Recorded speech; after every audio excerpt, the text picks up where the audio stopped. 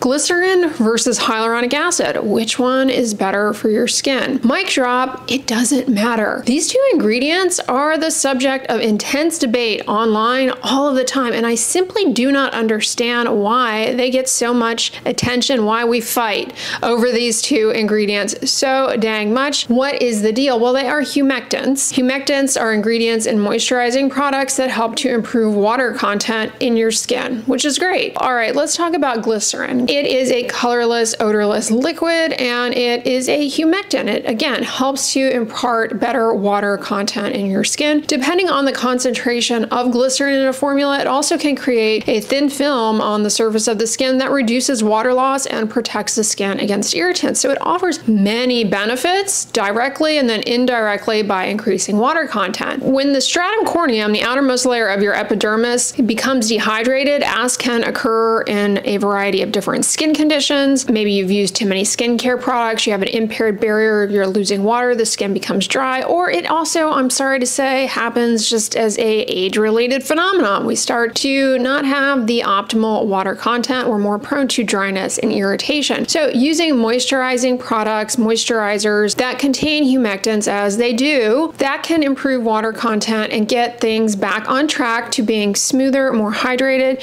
and ultimately what that does for you cosmetically is it plumps up the skin and it leads to smoothing out of fine lines and wrinkles. When the water content in your skin barrier is optimized through the use of humectants, whether it be glycerin or any of the others out there, what happens is the natural turnover processes of the epidermis, they go along a lot more smoothly. When the water content drops, the enzymes necessary to maintain the normal exfoliation processes and barrier function, they don't operate properly.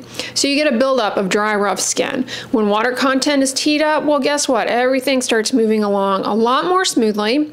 And speaking of more smoothly, you get smoother, more hydrated, more glowy, radiant skin. That's one of the benefits of simply using a moisturizer, regardless of the ingredients. Additionally, using glycerin in your skincare products helps to strengthen the integrity of your skin barrier. It helps to improve the orientation of the lipids in the skin barrier, and ultimately that helps not only with reducing transepidermal water loss, but also limiting penetration of irritants. Now, when it comes to glycerin specifically, the overall formulation makes a huge difference. Like glycerin is so widely available. If you are using skincare products, glycerin is hitting your face, okay? It's like, goes without saying. It's, it's just in so many things. Here's the thing, at lower percentages, you know, it's a humectant, helps offset some of the drying effects maybe of some ingredients, and it can enhance penetration of certain ingredients, which can be a positive, it can be a negative. It can be a positive in that you get better results, it can be a negative in that you get more irritation. But when it ranges anywhere from 20 to 45%, the product can claim to be a skin protectant. So it can make a drug claim. Several months ago, I discovered a new product from La Roche-Posay, their Cicaplast gel. Now, I've always loved the Cicaplast balm, a skin protectant with dimethicone, but they came out with a gel version that instead of being a dimethicone skin protectant is a glycerin skin protectant. And it has a high percentage of glycerin. It creates a nice protective hydrating film on the skin surface that for me personally, I find really performs well around the eyes. I highly recommend this around your eyes for limiting penetration of things into eyelid skin that can be irritating. If you're dealing with dry, irritated eyelids, this is a great option. It doesn't feel heavy, it doesn't feel greasy. Love it. Um, it could be used anywhere. Truthfully, it's a skin protectant. So is diaper rash cream, so is Vaseline. All do the same thing, but with a different ingredient. So they have a different feel, a different consistency. And so consumers are going to pick and choose what they like better. It doesn't necessarily mean one is better than the other. It's more about what you like and want to use. But glycerin as a skin protectant is fantastic. Once you get water content optimized via that humectant action, well, you also get downstream benefits benefits in the realm of skin's mechanical properties. You get improved elasticity, smoothness, overall epidermal thickness improves via hydration. I mean, your skin just starts looking better. At high concentrations, such as what is found in a skin protectant, glycerin can be bacteriostatic, meaning it limits bacteria in a wound. This is really valuable for healing cuts, which glycerin, as a side note, is great for its wound healing properties. And this is one way in which it does that. I already kind of mentioned this, but it really helps with skin renewal because, again, optimizing water content, things just move along a lot more efficiently. The barrier turns over. You just get healthy, fresh skin and a reduction in that buildup of dry, rough skin texture. Ultimately, that leads to skin that is not only smoother, but less prone to irritation. You have better barrier integrity. Woohoo! So, what's the deal with hyaluronic acid then? Well, hyaluronic acid is abundant in your dermis, the deeper parts of your skin. That's kind of the, the location of interest when we are discussing wrinkles. It is the dermis, and you've got a ton of hyaluronic acid in there. But you also have some hyaluronic acid hanging out in your epidermis, plays a key role in hydration there as well. Guess what? With age, hyaluronic acid starts to decline in our epidermis, contributing to overall dryness. Applying it topically can help replenish moisture. Woohoo! Similar to other humectants. Not only is hyaluronic acid widely found throughout your skin, but it's also abundant in your joints because of its water binding abilities. It is very hydrating, it helps lubricate. Here is where a lot of the nitpicking getting too sciencey goes down when it comes to hyaluronic acid.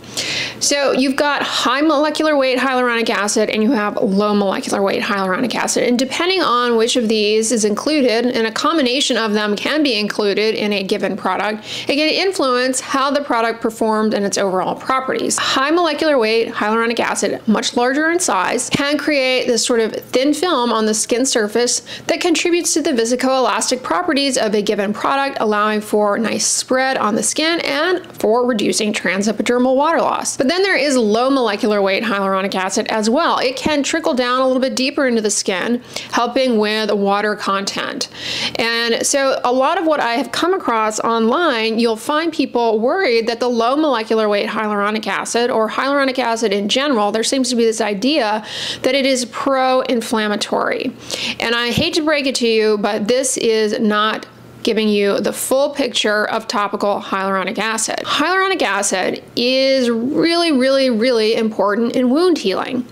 So wound healing, say from a cut or a surgical incision, it goes through different stages. And a vital aspect of wound healing is the inflammatory stage where inflammation comes in to orchestrate proper and efficient wound healing. Without inflammation, you cannot heal cuts and scrapes. And low molecular weight hyaluronic acid plays a role in that. Hyaluronic acid, high and low molecular weight, actually can reduce inflammation in the skin. Why? Well, because of all of these same things that glycerin can do. When you optimize water content in skin's outermost layer, you improve barrier function, you limit penetration of irritants, and the list goes on and on. And this has actually been demonstrated clinically.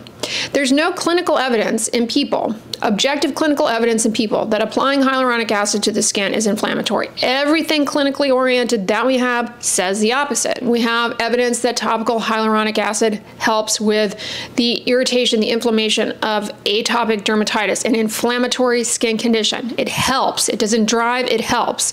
Also, rosacea, seborrheic dermatitis, helped by low molecular weight hyaluronic acid applied to the skin in form of a reduction in inflammation, not an increase. So doesn't add up at all clinically that hyaluronic acid is inflammatory, whether it be high or low molecular weight. High versus low molecular weight will all just kind of come down to how a given product performs on your skin in terms of texture. Um, it may be, a, you know, leaning more depending again on how it is formulated overall as far as other ingredients. It may lean more towards, you know, helping to reduce water loss. It may lean more towards helping with hydration in the deeper parts of the epidermis, but uh, I think people get way too hung up on this, way too hung up on it. Hyaluronic acid applied topically can be quite robust actually at reducing wrinkle depth. I personally observe this on myself all the time. That's why I'm such an advocate for moisturizing the skin as a, a great bang for, for your buck. Just using a moisturizer plumps up the skin surface. You get a reduction in fine lines and wrinkles just by space filling up to 40%, including with low molecular weight hyaluronic acid. Some of the some of the randomized control trials looking at hyaluronic acid topically. I'm not talking about filler that you inject down in the dermis. We're talking about putting it on your skin. The studies using low molecular weight hyaluronic acid had some of the most striking reductions in wrinkle depth. Hyaluronic acid applied topically has also been shown to have a variety of benefits post-procedure. What do I mean by that? We're talking filler, we're talking microneedling, we're talking laser.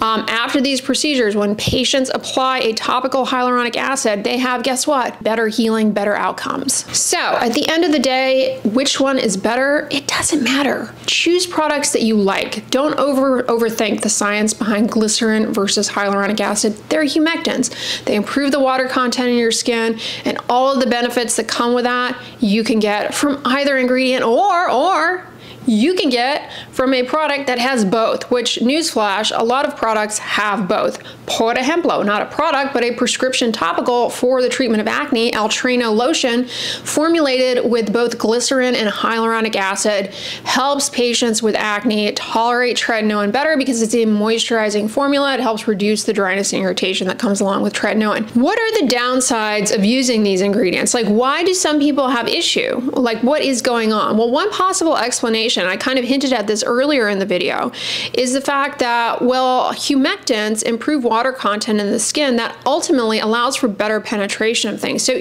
you may be getting more irritated by something else that you are using along with these hydrating ingredients. So keep that in mind. I love glycerin in my skincare. I also love hyaluronic acid. I'm an avid user. I genuinely see benefits in my skin using either ingredient and oftentimes I'm using both of them together.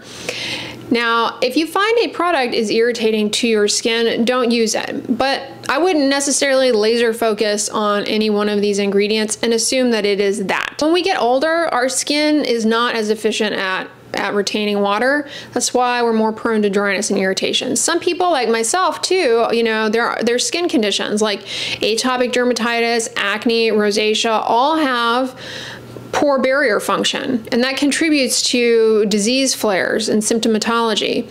Moisturizers can truly benefit that. You don't have to pick and choose, you don't have to sit there wondering which one is better for you. All right, guys, that's what I wanted to talk about in today's video. I hope this was helpful to you all. If you enjoyed it, give it a thumbs up, share it with your friends, and as always, don't forget sunscreen and subscribe. I'll talk to you guys tomorrow. Bye.